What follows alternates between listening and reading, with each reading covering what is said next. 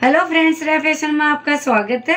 Friends, यदि आपने channel को सब्सक्राइब नहीं किया हो तो ज़रूर सब्सक्राइब कर ले और घंटी के बटन को ज़रूर दबाएँ ताकि मेरे हर नए वीडियो का नोटिफिकेशन आपको मिल सके और साथ ही आप फेसबुक पेज को भी ज़रूर फॉलो करें। आज मैं आपको बताऊँगी कि स्विंग मशीन जाम हो जाए तो उसे कैसे ठीक करें।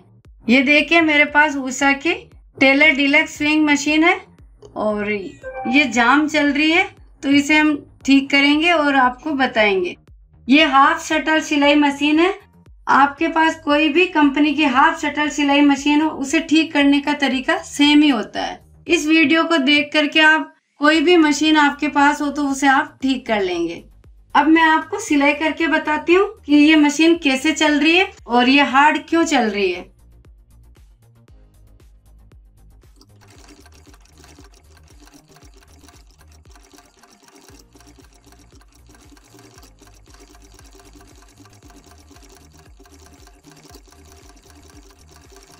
ये देखे, सिलाई तो अच्छी आ रही है, लेकिन ये थोड़ा हार्ड चल रही है। हम इसकी शटल को खोल करके चेक करेंगे कि हार्ड क्यों चल रही है।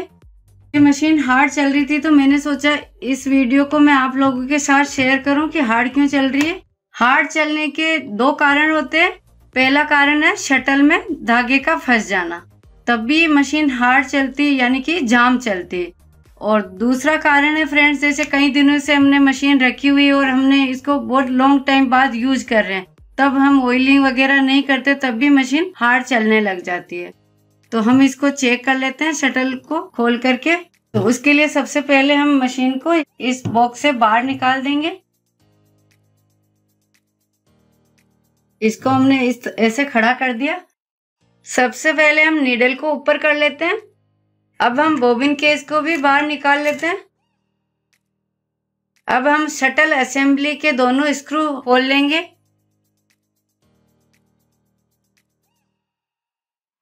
इसे हुक रेस यूनिट भी कहते हैं इस पूरी को शटल को।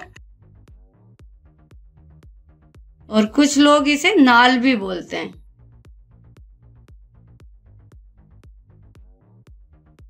अब हम इस यूनिट को पूरा खोल करके देखेंगे कि धागा कहाँ पे फंसा हुआ होता है और उसे हम कैसे बाहर निकालेंगे। सबसे पहले हम इस हुक को बाहर निकाल लेंगे। अब हम इस रिंग होल्डर पर जो स्क्रू लगा है, इसको खोल देंगे।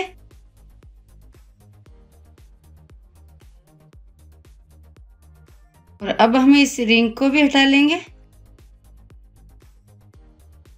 ये देखिए, इसमें थोड़ा सा धागा फंसा हुआ है। ये यहाँ पे फंस जाता है। जिससे ये हार्ड चलने लग जाती है, यानी जाम चलती है।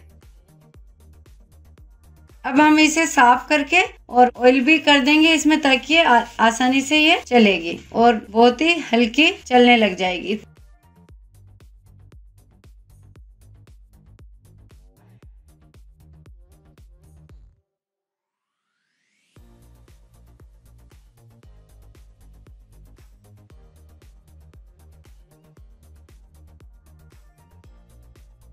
सभी पार्ट्स को हमने साफ़ कर लिया और जैसे हमने खोला, उसी तरह से आपको स्टेप बाय स्टेप इसे लगाना है।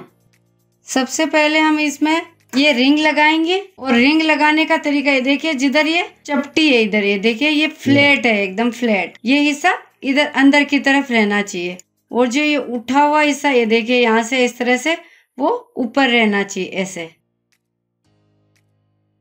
और इसके बाद इसे लगाना आपको, ये देखिए, इस रिंग होल्डर को लगाना, ये जो इसमें होल दे रखा और यहाँ पे जो होल है, इन दोनों को आपको मैच कराना है। इस तरह से। पहले आप हल्का सा हाथ से टाइट कर ले और फिर स्क्रू ड्राइवर से इसे टाइट कर लें।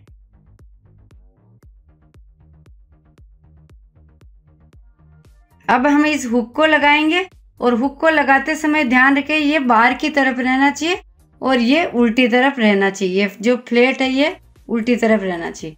तो इसे आप ऐसे लगाएँ।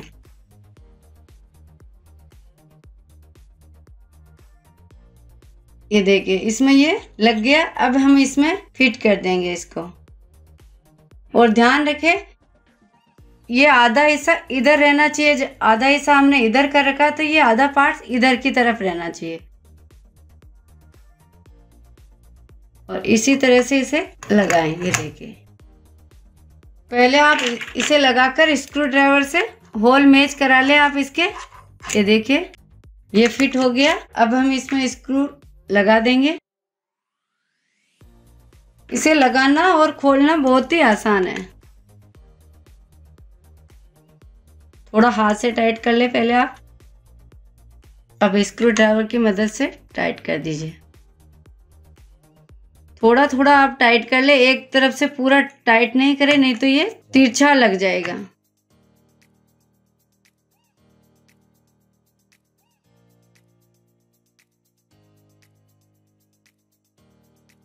अब हम इसमें थोड़ा ऑयल डाल देते हैं।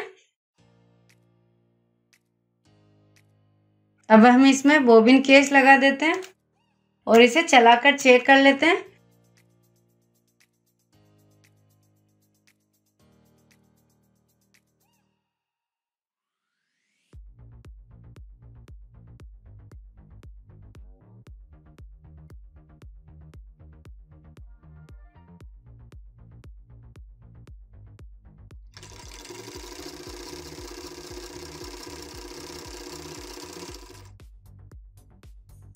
देखिए, मशीन बहुत ही स्मूथली चलने लगी है और बहुत ही हल्की होगी है देखिए। और अगर इस तरह से अगर आपकी मशीन में धागा फंसा हुआ है तो आप घर पर ही बहुत ही आसानी से उस धागे को निकाल सकते हैं और आपकी मशीन घर पर ही ठीक हो सकती है। आपको बाहर ले जाने की ज़रूरत नहीं पड़ेगी। ऐसी छोटी छोटी जो हमारी मशीन में आने वाली प्रॉब्लम को हम घर पर ही ठीक कर सकते हैं। फ्रेंड्स आप मेरे वीडियो को लाइक करें और ज़्यादा से ज़्यादा शेयर करें। थैंक्स